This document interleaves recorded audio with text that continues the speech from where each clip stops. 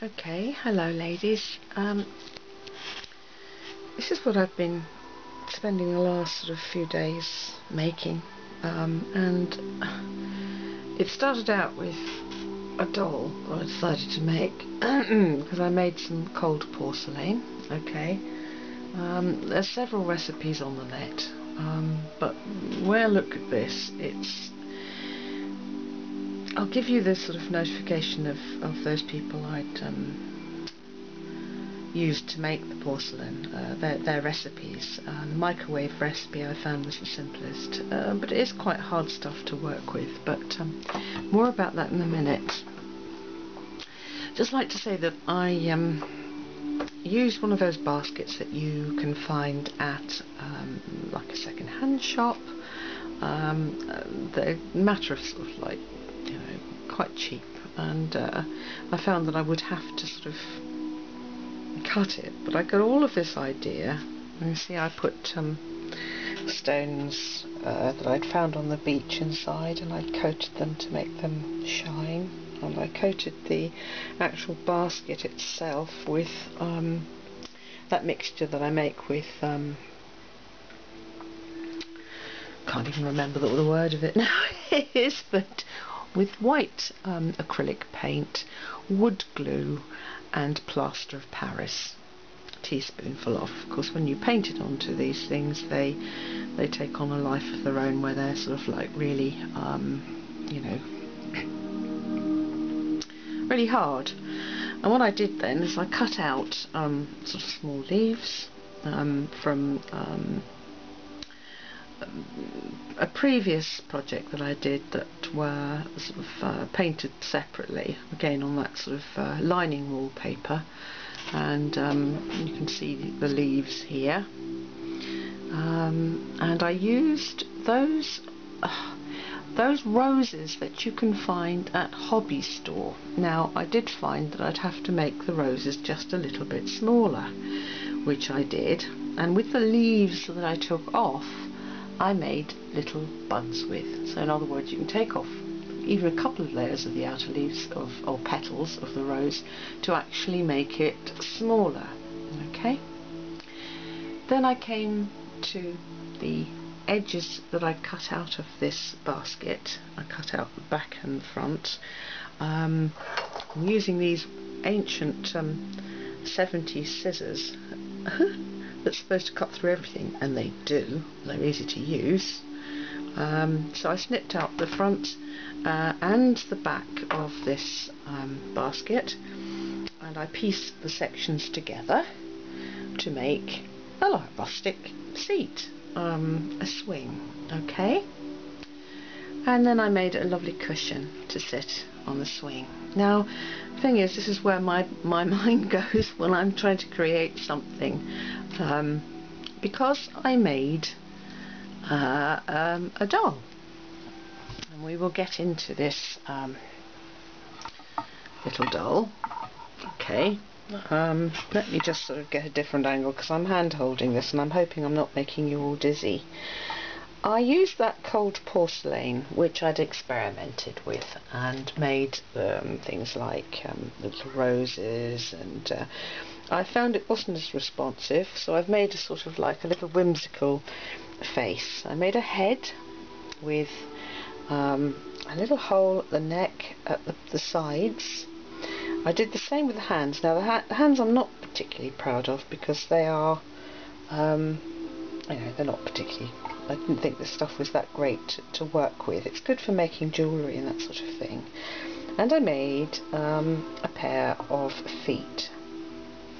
I separately made a body, okay, um, with the legs, uh, which I had sort of sewn at the knees so that the, they move. If you can see that. I'm hoping I'm catching all this on. Um, and stitched the feet on when they dry because it's an air drying thing this cold porcelain and I put little shoes on the feet which I'd used sort of a stretchy black material stretched it over and round and glued it on. When it had dried I gathered it and put a little sole on the bottom. I made little pantaloons for this lady okay? And she has a lovely skirt there, which I've made, an outer skirt, and um, her hair is is wool, and uh, as you can see, um, when she's sitting in her seat, you don't actually. Oh yes, and the hat. I used a fabric glue over a form and used about three layers of the same material I used to make the dress. Um, and when it had dry, I stitched stitched around it um, here. Okay. Um, I had to paint the face, obviously, because you know she hasn't got a nose, but she's got a painted on nose.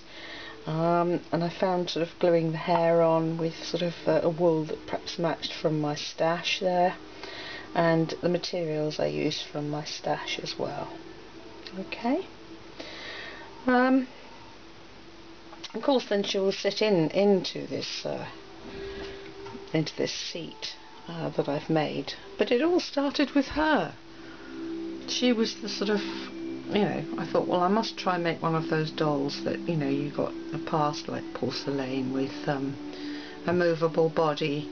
The hands were sewn on, attached and, and moved. I mean, both elbows move. Um, so I'm going to try and sort of sit her in, I, I think I'll have to sort of like um, do some more work on this um, little um, garden seat I call it. It's quite a romantic little thing to be looking at, isn't it? And there's my tea there in the corner. Quite a busy day. Um, I used an awful lot of stuff that I already had. The only new stuff I used was those roses that I caught from Hobby Store that um, it was a quick drop off and I grabbed a few bits and pieces um, the leaves um, and all of the uh, work that I did on the inside of this all to do with um, cutting out from a very thick painted heavy paper or lining paper which I use um, and it just sort of denote climbing roses. I mean it's a sort of seat that I'd love to sit in myself. You know this is a lovely padded cushion. I might have to sort of like um, uh, shall we say, button it to the seat um, and sit my my lady in it with her hat sort of hanging off her shoulders. Let's see if I can get her sitting down one-handed. Obviously not, so what I do is I'll hold it with the other hand and uh, see if I can sit her in there. Obviously I'm showing you this before I've actually really, really finished her. Um, and I'm hoping to give her perhaps a little book, a little book or something. Sorry if you're not seeing this, I'm all over the place. But she's sort of leaning back there. But if you can sort of get the idea of her sitting in her sort of like garden seat with lovely roses and it's June and it's warm. Um, it's like a little book that I'm reading at the moment where um, it's written by a 12 year old girl in, in Victorian Edwardian times about her upbringing um, and her life growing up in those times historically around um, the area where I live. So there you are. That's what I've been up to.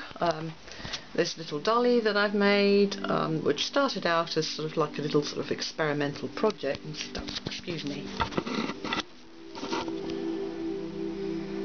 It's stuck around her neck. So, experimental project, and um, I hope you like her got little feet there and um, little face. if there's any questions that you'd like to ask me about this, because there were so many things that I did to sort of try and get this sort of result that I've got here. Um, I've used all sorts of things that I had left in, in my stash. Um, I mean, this is lovely on its own, but uh, it's all because of that little doll that I started making, you know, and, this to, to, do with it, using an old basket, um, you know, that you can find in second-hand shops, and and now having cut it up, I can I find you probably have to do, you could do other things with it, you know. I'm I'm very sort of pleased. Oh yes, um, one of my artworks is on the wall there.